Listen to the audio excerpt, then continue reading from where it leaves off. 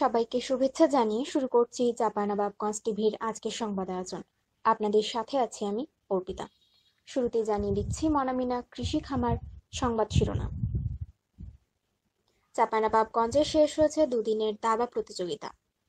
জেলা পরিষদের চেয়ারম্যান নির্বাচিত হতে যাওয়া রুহুল আমিনকে বিভিন্ন সংগঠনের শুভেচ্ছা। পঞ্চম বছরের পথ চলা শুরু করল সাপ্তাহিক ভোলাহাট সংবাদ। চাঁপাইনবাবগঞ্জে মাদক ব্যবসায়ীর যাবজ্জীবন। এতক্ষণ শুনছিলেন শিরোনাম। এবারে বিস্তারিত।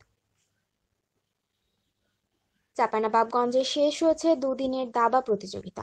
শহরের নয়াগলা এলাকায় জেলা লাইন্সে অনুষ্ঠিত প্রতিযোগিতায় জেলার আঠাশটি শিক্ষা প্রতিষ্ঠানের একশো পঁয়ষট্টি জন শিক্ষার্থী অংশগ্রহণ করেন। প্রতিযোগিতায় প্রথম হচ্ছেন রাজরামপুর হামিদুল্লাহ উচ্চ বিদ্যালয়, দ্বিতীয় বীর বিক্রম শহীদ নায়েক মহর আলী উচ্চ বিদ্যালয়। ও তৃতীয় হয় হরিপুর বালিকা উচ্চ বিদ্যালয়। সোমবার বিকেলে প্রতিযোগিতার সমাপনী ও পুরস্কার বিতরণ অনুষ্ঠানে প্রধান অতিথি ছিলেন জেলা প্রশাসক এ K M Galib Khan. Police super H M Abdur রকিবের সভাপতিত্বে অনুষ্ঠানে আরও অতিথি ছিলেন অতিরিক্ত জেলা ম্যাজিস্ট্রেট দেবেন্দ্রনাথ উরাও, জেলা শিক্ষা অফিসার মোহাম্মদ আব্দুর রশিদ, জেলা ক্রীড়া অফিসার মোহাম্মদ জাহাঙ্গীর হোসেন, বাংলাদেশ দাবা ফেডারেশনের সদস্য এস এম অবায়দা নিপুণ স্বদেশে স্কুল শিক্ষার্থীদের নিয়ে এমন দাবা প্রতিযোগিতা আয়োজন করেছে বাংলাদেশ দাবা ফেডারেশন।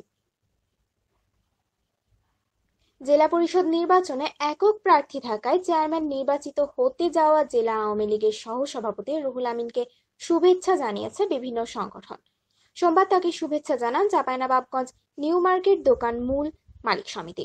এ সময় উপস্থিত ছিলেন শওকত আলী, আজিজুর রহমান, জাভেদ আক্তার, আব্দুল খালেক, মুখলেসুর রহমান রুনু মিয়া সহ কমিটির সদস্যরা।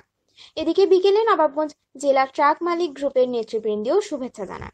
এ সময় উপস্থিত ছিলেন জেলা ট্রাক মালিক গ্রুপের সভাপতি অ্যাডভোকেট আব্দুস সামাদ বকুল, সাধারণ সম্পাদক আব্দুল মাতিন, নাসিরুল ইসলাম মাখন, তহুরুল ইসলাম সহ অন্যান্যরা।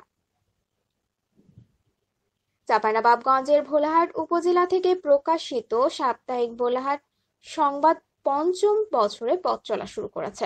সোমবার চতুর্থ বর্ষপূর্তি অনুষ্ঠানে পত্রিকাটির সম্পাদক গোলাম কবিরের সভাপতিত্বে অতিথি ছিলেন বোলাহাট থানার ভারপ্রাপ্ত কর্মকর্তা মাহবুবুর রহমান।